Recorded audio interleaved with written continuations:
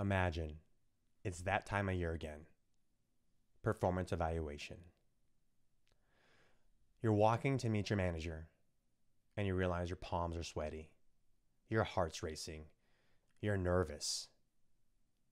But you try and put those nerves in check. Even though you know you have anxiety because your family is depending on the promotion this year.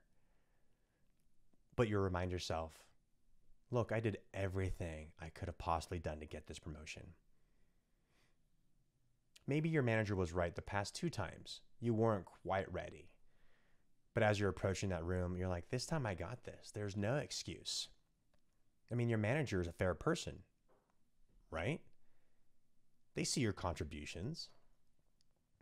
And maybe you don't quite have the same background as your manager and your peers on the, on the team, but that doesn't matter. You're the best performer. And maybe you don't quite look and act like everyone else on the team, but that shouldn't matter either. Your work speaks for itself.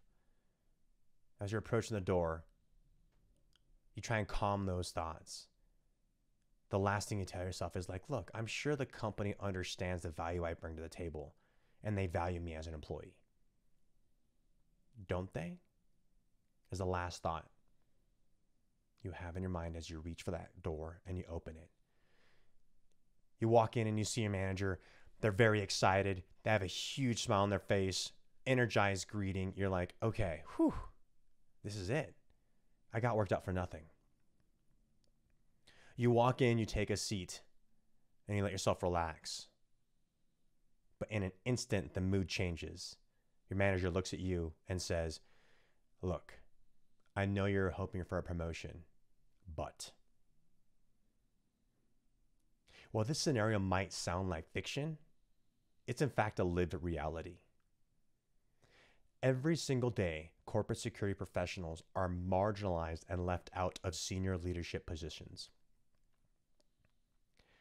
Internal policies and archaic traditions have led to a group of historically marginalized groups being left out of the most valued positions in an, an organization.